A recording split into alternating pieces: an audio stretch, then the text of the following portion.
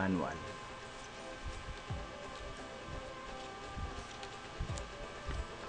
Chinese page. English page. Tapos ito yung kung paano i-download yung application. Meron na siyang ano. scan mo na lang.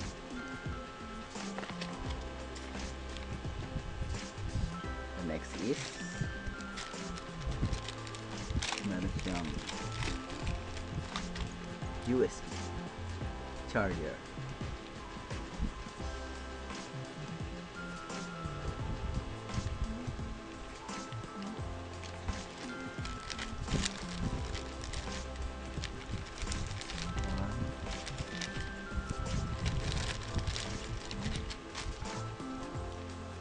protector ng propeller apat. Oops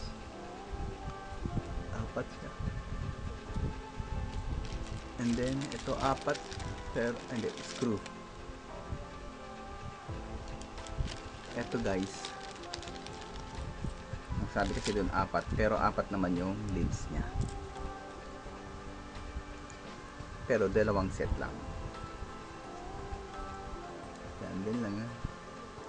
ganyan lang siya. Dalawang set pero apat yung leaves.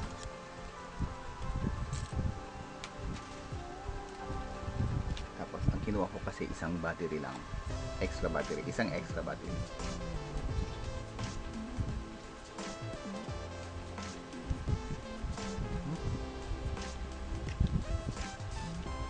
Yun, dito siya tina-charge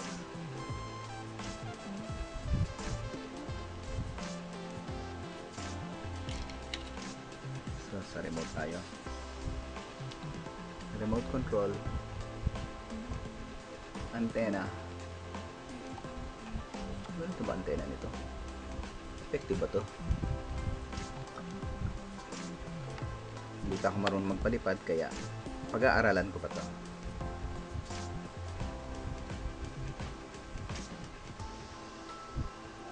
Unboxing lang muna tayo ngayon. Battery niya triple double A tatlong double A ang battery niya. Yan. dito nilalagay yung cellphone. Ano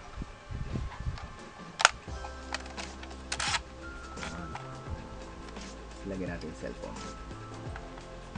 Nag-download na ako actually ng ano niya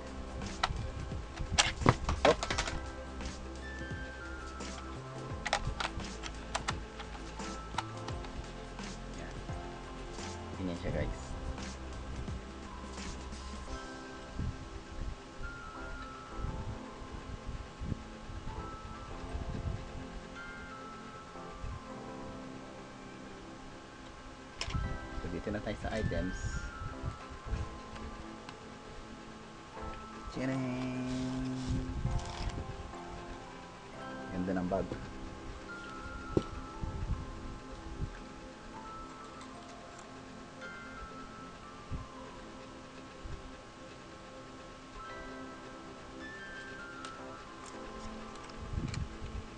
Dito yung battery niya. May isa.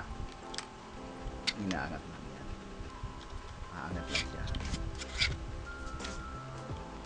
Kayo magtitik. Power button. Yan na natin. Set up natin. So, ang unahin natin yung taas. Yan. Taas. Baba.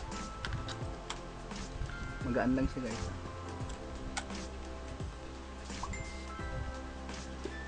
Siya.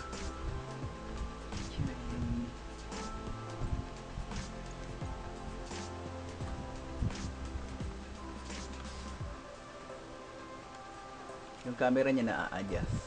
4K camera.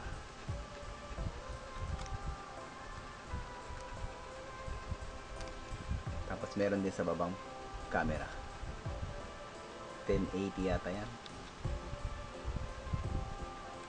pinaka-sensor niya. Guys. Pinaka-sensor. Oh, bagsik ah. On natin.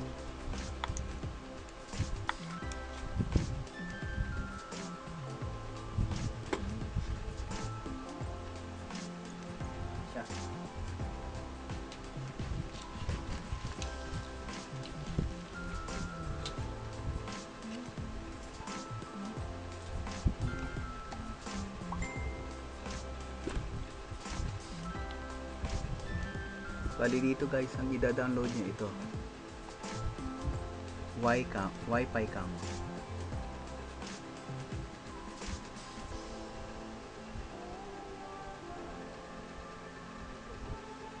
Yan. O, baliktad. Baliktad pa eh, no? Ulitin natin pag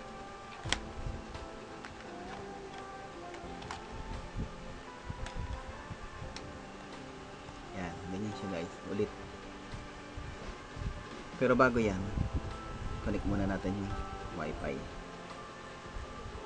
Connect tayo sa airplane. Wifi. Book na ng wifi.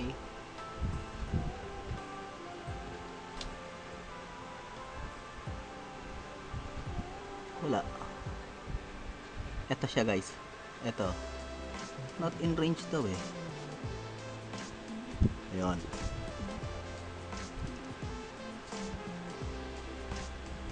Connect.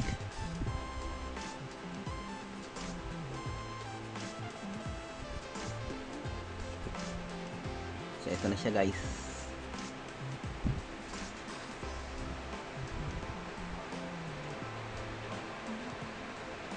Kontrolin natin ah. Wait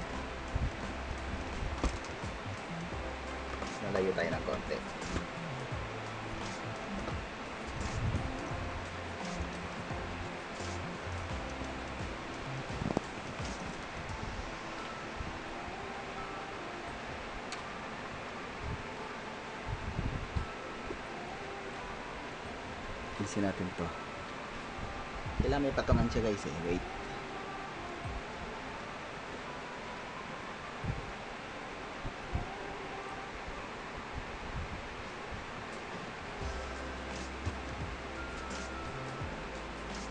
Yan. Up and down. Kita ba si airplane?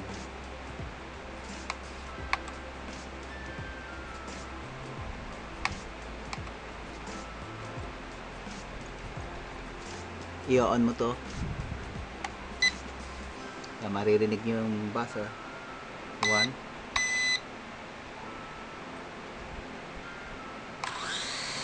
calibrate.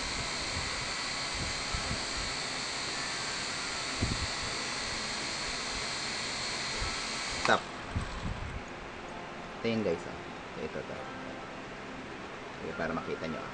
ito ah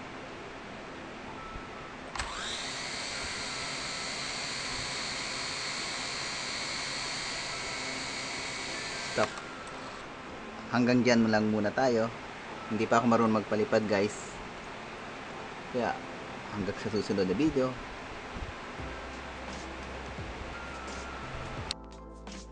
Good day mga ka-TV ito ang specs niya. L701 yung camera niya merong anti-shake. Nire-reduce yung pagka-blur. Ini-improve niya yung image quality. Kasi 4K camera to.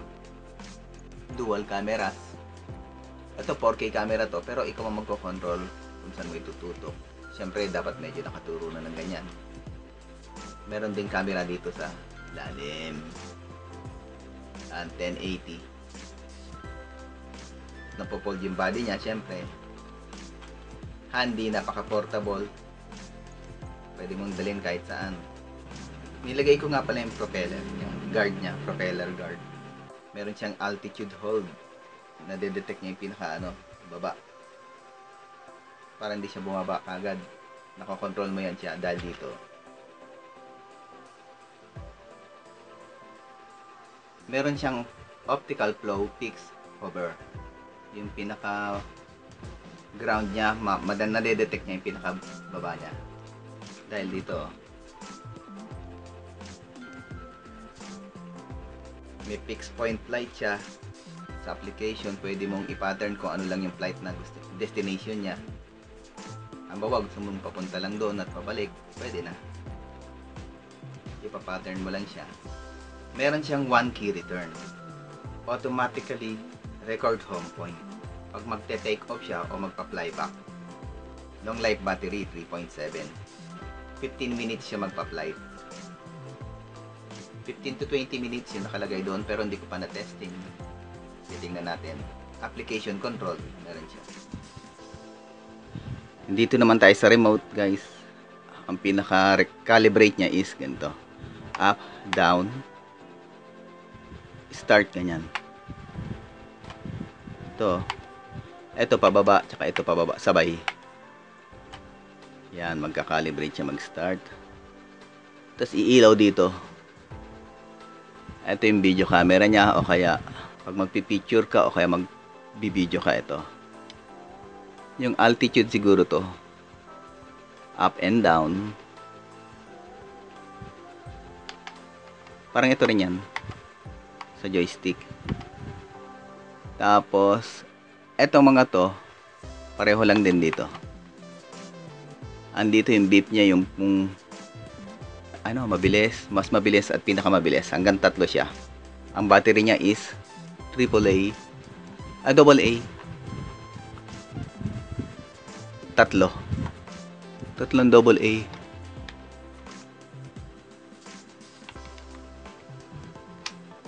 Yan. Ito. Up. Flight siya. Aangat siyang ganyan, no? Aangat siya. Etong flight. Pagbaba, da down. Nga pala guys, pag nag papalipad kayo, lagi nakaharap sa inyo dapat. Ha? So, pag inap nyo nga, tataas. Pag bumaba, parang ito rin siya. Pag ganon, guys, pa-turn left, umiikot siyang ganon. Pag pa-turn right naman, pag gano'n naman ang ikot niya. Tapos ito, kunyari nakalipad na, di ba? Nakaangat ka na ng ganyan. Pag pinindot mo yung ganon, yung pataas, aatras siyang ganon. Pag pinindot mo to, aatras siyang ganon. Pag pinindot mo pababa naman to, aabante siya sa'yo, papunta sa'yo. Tapos pag pakaliwa, gaganon siya. Pakaliwa siya. Pag pakanan, yan.